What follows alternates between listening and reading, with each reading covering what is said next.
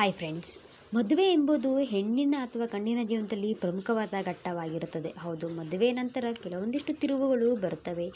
ಹಾಗಾದರೆ ಮದುವೆ ಆಗುವ ಸಮಯದಲ್ಲಿ ಹೆಣ್ಣು ಗಂಡನಿಂದ ಈ ಒಂದು ವಿಚಾರಗಳನ್ನು ಬಯಸುತ್ತಾಳೆ. ಹಾಗಾದರೆ ಆ ವಿಚಾರಗಳು ಯಾವಂತೇಳಿ ನಾವು ನಿಮಗೆ ತಿಳಿಸಿಕೊಡ್ತೀವಿ. ಹಾಗಾಗಿ ವಿಡಿಯೋನ ಸ್ಕಿಪ್ ಮಾಡದೆ ಕೊನೆ ತನಕ ನೋಡಿ. ಹೌದು, ನಾವು ಬಾಳ ಸಂಗಾತಿಯನ್ನು ಆಯ್ಕೆ ಮಾಡುವಾಗ ತುಂಬಾ ಎಚ್ಚರಿಕೆಯಿಂದ ಆಯ್ಕೆ ಮಾಡಿಕೊಳ್ಳಬೇಕು. ಯಾಕೆಂದರೆ ಕೆಲವೊಮ್ಮೆ ಮದುವೆ ಆದರೆ ಆ ಗಂಡನಿಂದ ಚೆನ್ನಾಗಿ ಎಲ್ಲ ರೀತಿಯ ಸಪೋರ್ಟ್ಗಳು ಸಿಕ್ಕರೆ ಗಂಡ ಹೆಂಡತಿಯನ್ನು ಚೆನ್ನಾಗಿ ನೋಡಿಕೊಂಡರೆ ಬಾಳು ಸ್ವರ್ಗವಾಗಿರ್ತದೆ.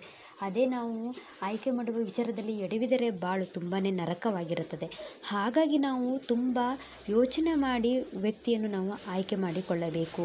ಹೌದು, ಉತ್ತಮ ವರ ದೊರೆತರೆ ಯುವತಿಗೆ ಅದು ಪುಣ್ಯವೇ ಅಂತಲೇ ಹೇಳಬಹುದು.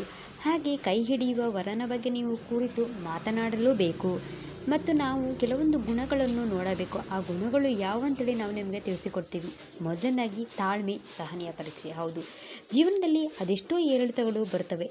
ಅವೆಲ್ಲವನ್ನು ಎದುರಿಸುವ ತಾಳ್ಮೆ ತುಂಬಾ ಮುಖ್ಯವಾಗಿರುತ್ತದೆ. ಹೌದು, ಜೀವನದಲ್ಲಿ ಶಾಂತಚಿತ್ತದಿಂದ ಅಂದರೆ ತಾಳ್ಮೆ, ಸಹನದೊಂದಿಗೆ ಎಂತಹ ಪರಿಸ್ಥಿತಿಯನ್ನು ನಾವು ಸುಲಭವಾಗಿ ನಿಭಾಯಿಸಬಹುದು. ಕಷ್ಟದ ಸಮಯದಲ್ಲೂ ಸಹ ಪ್ರತಿಯೊಬ್ಬರನ್ನು ನಿಪುಣತೆಯಿಂದ ನಿಭಾಯಿಸುವ ವ್ಯಕ್ತಿಗೆ ಹೆಚ್ಚಿನ ಮನ್ನತೆ ಸಿಗುತ್ತದೆ. ಅಂತಹ ವ್ಯಕ್ತಿ ಭಾಳ ಸಂಗಾತಿಯಾದರೆ ಜೀವನ ತುಂಬಾ ಚೆನ್ನಾಗಿರುತ್ತದೆ. ಅಂತಹ ವ್ಯಕ್ತಿ ನಿಜಕ್ಕೂ ಅದೃಷ್ಟಶಾಲಿ ಅಂತಲೇ ಹೇಳಬಹುದು. ಮತ್ತಿನ್ನು ವ್ಯವಹಾರ ಪ್ರಯೋಗ, ಹೌದು, ಇದರಲ್ಲಿಯೂ ಕೂಡ ನಾವು ತುಂಬಾ ಸಮರ್ಥರಾಗಿರಬೇಕು. ಯಾಕೆಂದರೆ ಬಿಲ್ಲಿನಿಂದ ಬಿಟ್ಟ ಬಾಣ, ಬಾಯಿಂದ ಜಾರಿದ ಮಾತು ಮರಳಿಬಾರದು. ಅಂದರೆ ಮಾತನಾಡುವ ಮುನ್ನ ತುಂಬಾ ಯೋಚಿಸಿ ನಾವು ಮಾತನಾಡಬೇಕು. ಹೌದು, ಕೆಲವೊಮ್ಮೆ ನಾವು ಮಾತನಾಡುವ ಮಾತುಗಳು ನಮಗೆ ಮುಳ್ಳಾಗಿ ಬಿಡುತ್ತವೆ ಹಾಗಾಗಿ ಬಹಳ ಯೋಚಿಸಿ ನಾವು ಮಾತನಾಡಬೇಕು.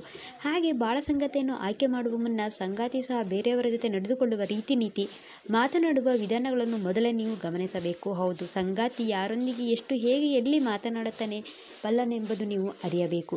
ಮಧುರವಾದ ಮಾತುಗಳಿಂದ ಯಾರನ್ನೇ ಆಗಲಿ ಗೆಲ್ಲಬಹುದು. ಮಾತಿನ ಮೇಲೆ, ಆಧಾರದ ಮೇಲೆ ಒಳ್ಳೆಯ ಕೆಟ್ಟದು ಎಂಬುದು ನಿರ್ಧಾರವಾಗಿರುತ್ತದೆ. ಇನ್ನು ಮನವನ್ನರಿತು ಮುನ್ನಡೆಯಿರಿ. ಹೌದು, ಮನಸ್ಸಿನಂತೆ ಮಹಾದೇವ ಎಂಬಂತೆ ಮನ, ಮನಸ್ಸು ಹೇಗೆ ಎಂಬುದನ್ನು ನೀವು ಅರಿತು ಮನುಷ್ಯ ಇಂತಹವನೇ ಎಂದು ನೀವು ನಿರ್ಧರಿಸಬಹುದು.